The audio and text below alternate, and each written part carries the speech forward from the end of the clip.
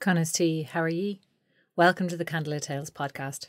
We are breathing life back into Irish myths with traditional Irish storytelling accompanied by music. My name is Sorcha, and I'm one of the co founders of Candlelit Tales. And in this episode, you'll be hearing our discussion about the death of Celtchar Mac Uthechar between myself and my brother Aron. Now, we started live streaming these conversations on YouTube on Sundays at 7 pm Irish time over the course of the madness that was 2020. But this conversation was actually recorded before everything kicked off back in January of 2020. So we decided to take this weekend off and let you listen to that conversation. If you'd like to join us on YouTube and get in on these chats about the myths and chip in with your own comments and questions, like and subscribe to our YouTube channel for the next one. We wouldn't be able to continue to make these podcasts without the support of our patrons, which we are very grateful for. So thank you to all of you. If you'd like to contribute, you can chip in a few bob at patreon.com forward slash candlelit tales, or share, subscribe, like, or you can leave a review if you like what we do. It all makes a big difference. Now sit back and enjoy this week's conversation. All right. Well, tis a rainy day in the Shafis after listening to Celtchar Mac Uthechar and Other car. I know, I know. Other the- Other- Sorry, this is me. This is me taking the piss out of Irish while also not really speaking Irish, which I shouldn't really do. Yeah, I know. Um, it's a brilliant name, though. It's one of the most memorable names, and yet we don't have very many stories of Celtchar. Yet this was his death story, and what a way to go! It's um, an interesting one because the hero that is Celtchar Mac Uthechar, he comes up in uh, Mac Datho's Pig, which is another story of uh, of one of the champions of, of Ulster. He doesn't really, we don't really know that much about him, though. I guess. He comes up in Mac Datho's Pig, and he's in the town. Yeah, He's He's one of the one of- Ulster warriors in the town. So, like, he shows up at the battle. yeah. Um, he's a bit. Of, he's at the final battle. Bit of, yeah. Uh, and he's like, I mean, there's that whole cycle of mythology. There's a whole lot of like minor characters who have their own stories that are Mhm. somewhat self-contained, and this is just kind of one of them. This is one of the like semi-self-contained. Here's another dude in Ulster at the same time as Cuchulainn and the Táin and all this kind of stuff is happening. But speaking of time, Well, hang on before we get to time because that I don't any- know. I think Okay, I feel like if you're if we're gonna talk about this story, the first and most First obvious most thing that you have to say is doesn't like really make sense. Yeah, like I mean, Cuchulainn is in it at the beginning.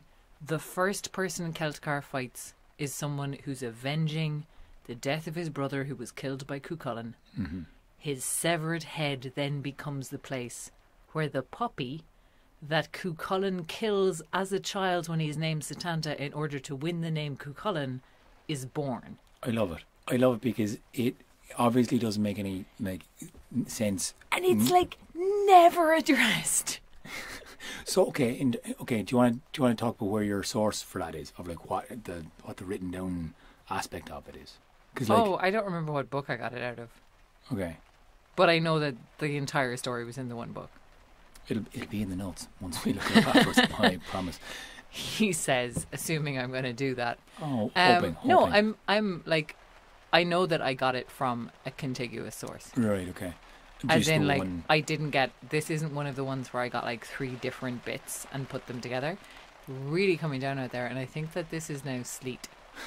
I think the rain is I think frozen. it's. I think it suits the post-show story. We're in the shop. It's. it's we're we're trying to get a few podcasts done together uh, because of scheduling and stuff. And we're going to basically, whenever you're listening to this, it mightn't be mid sleet February. Uh, it'll probably be mid March actually. it's definitely sleetuary right now. Sleetuary is fucking freezing It's in so the office with the heating up yeah, full and blast. like I was trying to just put the heating on in the shop office and not in my living room, so that we didn't stay in my living room for hours just chatting, and would instead come out here and get some work done. And the first thing Aron did when he came in was turn on the heating. it was Baltic lads. I couldn't fucking handle it. I it. know that was on purpose, though. Yeah, but we got we got we got a bit of a plan set.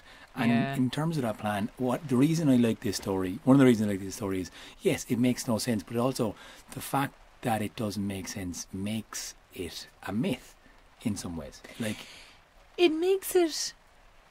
It makes it. It places it within a context of Irish mythology. I think. Because okay. one of the things, there's this video that Oisin sent to me a while back uh, by the Tale Foundry, which is a YouTube They're channel. awesome, yeah. who do some really cool like looks at different bits of world mythology. and they have a video called like "Why Isn't Irish Mythology More Popular?" And one of the things that they cite is the fact that shit happens with no context or explanation. So, like in most mythologies, if somebody can do magic, it's because they are of the magic people. They're a god, or they're a demigod, or they're a witch, or like there's some explanation for it. There's some kind of mechanic behind it. Whereas in Irish mythology, the Tuatha De Danann and the Sons of Míl meet, and the Tuatha De Danann are the magical people, but Amergin of the Sons of Míl does some magic. Just because. Yeah. And it's never explained. It's Yeah, never explained yeah. why some people can do magic and some people can't. Sure. And like, maybe everyone can do magic. It's never addressed. And there's. And like that's really characteristic of Irish mythology I love and that. I think they're like that's the thing. That's one of their things of like it's really confusing. So I think a lot of people have like a difficulty with well this in a doesn't make sense Yeah. because you can't really categorize it and you don't really have clear good guys and bad guys. But it's also one of the things that I remember watching that and being like, but that's that's literally one of the reasons I like it. Hmm. Yeah, yeah, yeah. Is because it doesn't make any fucking sense. or like, sure, the, the the narrative isn't perfectly linear, but like the the characters are awesome in it. That this guy's death is phenomenal. Like, well, It's- his the story around The story around his death is, is, is amazing. Um, the death itself is a bit like, oh, Well, yeah, I, and again, as we were talking about this inside, like this idea of kind of I don't know, uh, master and, and dog. It's kind of symbiotic of of nature and man's place within it. Like, and I There's some interesting stuff with dogs in this story. Um, there's definitely some interesting stuff with dogs, and I think it's worth saying as well when we talk about hounds in Irish mythology, we're pretty much invariably talking about Irish wolfhounds. there's the big, huge Irish wolfhound who's They're friendly. They're like, and they're famously beautifully tempered dogs. Like, there's like a whole poem about how they're a lion in the chase and a lamb by the fireplace, Mm-hmm. and like they're really sweet dogs, but they're also huge. Huge. And tell me what. Tell and me what- like if if one if a wolfhound were to go crazy and Yeah. attack people, it could seriously do some damage. yeah, And like you see that in there's there in the the Mayo Táin as well. There's a guy who trains a, an army of wolfhounds, yeah, which is yeah. kind of a terrifying image. just that image itself of like a whole army of wolfhounds. But I didn't know this that wolfhounds, the name, the reason, reason they have their name is Oh yeah, because they were the hounds that you used to hunt wolves. that's nuts.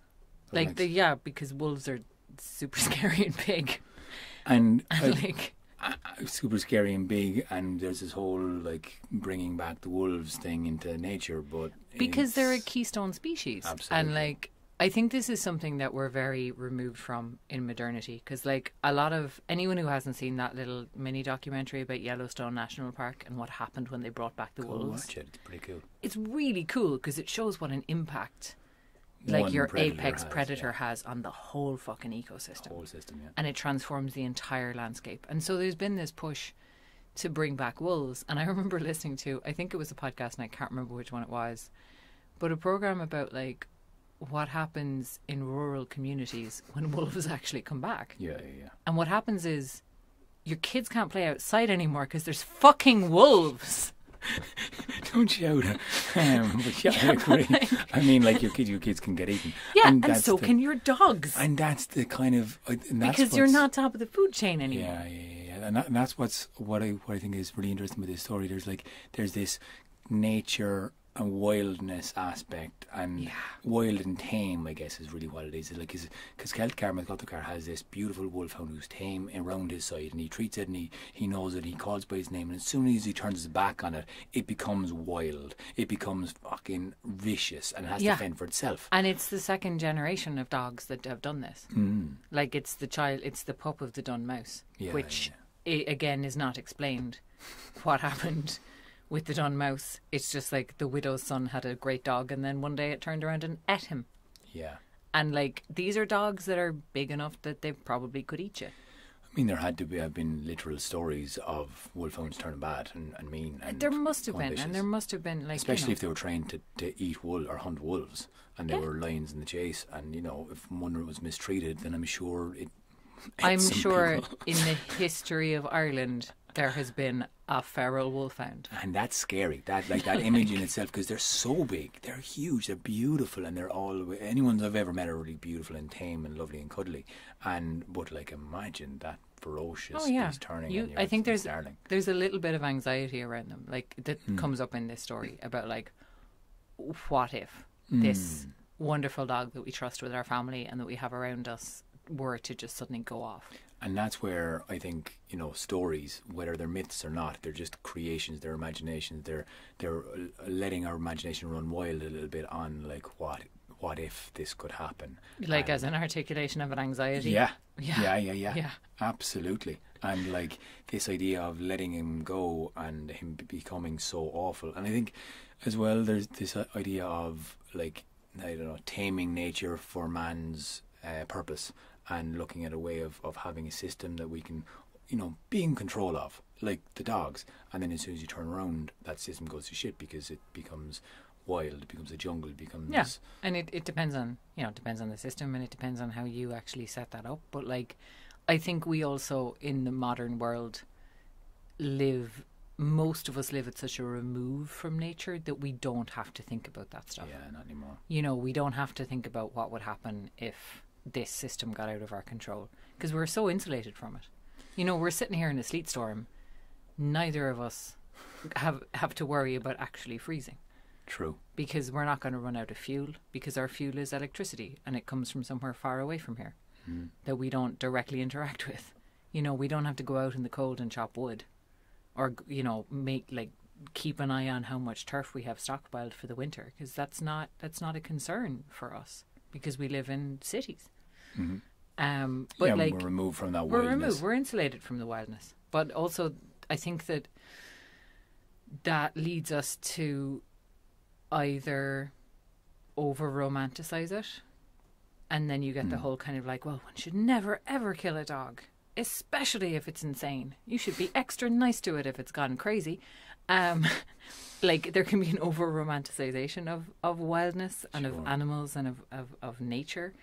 And there can also be like an over rejection of it, of like that's it, they're all terrifying and we shouldn't go near any of them. Yeah, yeah, yeah. And I think a lot of people in the modern world are, are you know land in one of those camps. Yeah, and I think like um, whenever I kind of start talking with this kind of stuff, I instantly think of our brother over in Guatemala. over in Guatemala, like farming goats and occasionally killing them with his own bare fucking hands. Yeah, yeah, yeah. Except there's a knife in one of them, so it's not actually bare. Yeah, yeah, yeah. But, you know, um, But, like very directly engaging with with natural systems. absolutely, absolutely, and and learning how permaculture would work and how how to manage that relationship between man and nature and becoming a little bit more in tune and reconnecting, I suppose, because we live in a society that is very disconnected and from all of the systems that are at play in the natural world. And I guess this story kind of shines a light on, like you know, an, an interpretation can like go to shining a light on like what happens when you turn your back on on the natural system,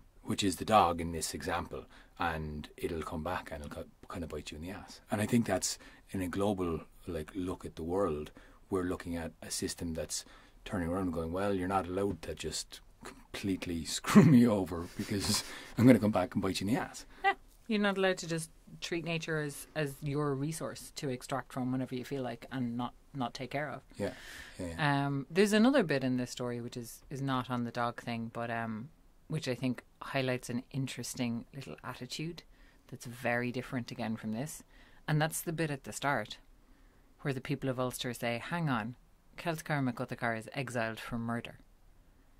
That's like losing twice. And I think that that's like you know it's it's kind of the impetus for the whole story for like Conchobar giving him this éraic of like you know come back and save Ulster three times and you'll be forgiven. Um, something fell over outside. I don't know what it was. Anyway, So punishment. so yeah, but like there's something there about justice and punishment because I think that's also a very fundamentally different way to how we look at justice today. Because imagine if you kind of said, okay, every time you put somebody in prison, which is a form of exile from the community, you are removing uh, a potential benefit from society because you're removing all of that person's potential Absolutely. Yeah, yeah, and you're putting them behind bars Shut and him away. like you're shutting them away. And I just think it's really interesting to see that applied to in the case of a murder because I think a lot of the time when people talk about restorative justice, we're like, well, non-violent criminals shouldn't be put behind bars. But the like violent ones the should be- violent ones should probably be put behind bars. And here's a society that's like, no, no. Sometimes we need a violent person. Hmm. Like there are situations where there's a greater, like again, different time, different place, different culture. Not different place, different time, different culture, Same place. same place. but like there's a there's a Yeah, very sure. very different view of um yeah there's a very different view of how justice should work that I think is really interesting. Yeah, yeah, and examining that is kind of put like putting under scrutiny in, in, in kind of modern terms is like we don't have a system that really is a fair one, is a really restorative one. It is we don't have one that uh, society benefits or the the um the I won't say the victim, the culprit uh, actually gains from it. They get punished and that's it. Whereas I guess Celtchar he kind of has uh, he has a journey. He comes back around and eventually, well, his dog kills him. Well, he has a path, but he also has a path back to Salvation. being part of the community. Yeah. Yeah. yeah, yeah, I mean, salvation is kind of a Christiany word, but like, yeah, essentially, he's given he's given a very clear signpost to say if you do this, this, and this, all is forgiven, and this is kind of a, a decision that's to benefit everyone in Ulster. And it's in line with his skill set, and it's in line with what he is and what he does, and also while he's working on it, he gets to come home. Hmm. Do you know what I mean? Which is which I just think is like that's a really interesting thing to think about. Like what if what if we treated criminality like this? Like you've you've taken someone away from the community by committing murder. Therefore you have to do something to rebalance that. Or whatever the crime may be. I, I mean, like the, the the interesting ending to that, since you're looking looking at the start of the the justice of of his uh, for punishing him for his crime, the the end result is he gets the blood spilled on him and he dies in a pretty awful way. But that's kind of is- he is dies kind of abruptly. yeah. Like he's got this you know, it's it's such a again, it's such a mad death story because it's a, a little bit like the Cuchulainn one. There's a lot of build up, and then a sudden like, oh, it's over. Um, like there's a huge amount of like you know there's there's all kinds of stuff that he's doing, and there's all kinds of like tricks he has to come up with to to deal with the, dun rubber mouse. tree and everything. Yeah, yeah, yeah. Like the tree that he turns into basically into like a rubber tube, um, and and then it's just like he, he kills his dog, and he gets a line in it where he's like, "You've shamed me," and then the heart blood of the dog kills him. Hmm. And there is something there. I think I think there is something maybe metaphorical or allegorical there about engagement with the animal side. Uh, but I don't really know what it is because again, It's it's a, as with so much in Irish mythology, it is not explained in the text in any way. and yet it, it seems like it has many branches. It seems like it has many metaphors that are just, just out of reach. Like there's a lot there. And hey, look, I've I've really enjoyed going through uh, picking this story apart with you, as I do with all of the stories. I'd love to hear from the listeners, especially on this one, because if you have an opinion, if you if something jumped out at you, I'd love to hear from you. We would love to hear from you. No, I wouldn't. I think you're all. Yeah, I, not allowed to speak. don't for, don't speak for me. I'm kidding. I really like hearing from people as well. But Aron sounds more sincere when he says it, so I just let him say it. Because I'm more sincere. Yes, because you're more sincere person. You, you, you've an icy I'm just like, yeah, fuck off. Uh, and on that note, uh, do fuck off uh, in a very kind way. This podcast was edited by Oisin Ryan. He is a legend. He does everything for us. Thank you, Oisin. Uh, he also did the music for this podcast, and the uh, support from Patreon has helped produce this show. Thank you very much for all our Patreon supporters. If you want to be a supporter, go to patreon.com forward slash candlelit tales. Yeah, and if you don't want to be a Patreon supporter, that is also cool. Uh, thank you for listening. Thank you for Yeah. your time, and uh, we'll talk to you again soon. You. This podcast was produced and edited by Oisin Ryan. You can find out more about us on our website, candlelittales.ie. Follow us on Facebook, Instagram, and Twitter at Candlelit Tales. And for videos and live streams, like and subscribe to our Candlelit Tales YouTube channel, which now has a Candlelit Tales for kids. Candle Little Tales. Liking and subscribing to our channels really helps us grow and get out to more people. And if you're able to give us more direct support, you can chip in a few bob at patreon.com forward slash candlelit tales or make a one time donation through the PayPal button on our website. We'd love to hear back from you with any of your comments or questions. You can contact us directly or leave your question in the comments section below. Because what we really want to do is get these stories out there, share them with as many people as possible. And so anything you can do to help, we really appreciate. And we really appreciate you listening.